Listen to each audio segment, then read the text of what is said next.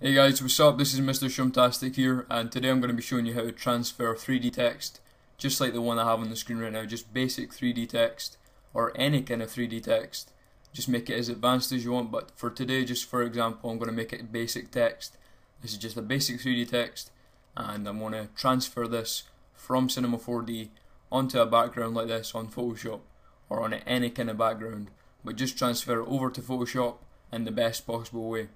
So most people, I'm going to show you the wrong way to do it, just just because this is how most people would probably do it.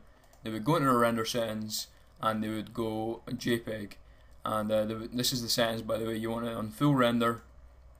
You want the output to be 1280 by 720, and all this will be standard. Uh, just change those to 1280 by 720. This might be ticked on yours, so just uncheck that and then uh, use those settings. And then most people would go JPEG and I'm just going to save this as tutorial one. And um, just for the sake of the tutorial and yeah that's how they would have it. And then they would exit with that and then they would just render it out. So then they would come up to Photoshop they would open up Photoshop sorry and then they would place it on their background just like this here. And they would have a black background um, at the back of their 3D text. And uh, how they would get rid of that would be to go magic eraser or something like this. This is how I would usually do it and um, just click on that black background that would get the black background away but it would also take away the 3D on the S and the H because that was black. Like it was going back and the 3D was black so it would take it away as well just because it's taking away everything on like that was black. Took away the black background and the black 3D so that's not what you want guys and this is the best way to do it. This is the best way I've found to do it.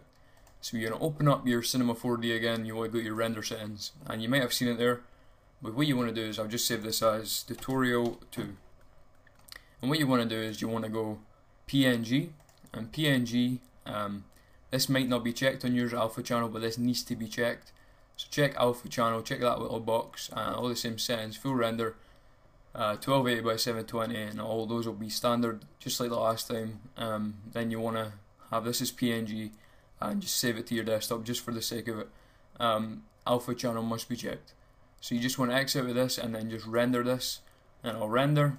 And then what you want to do is you want to go into your Photoshop now and what you'll get is if you place it if you go file place and then go to your desktop and then double check, double click on that and then there you go guys.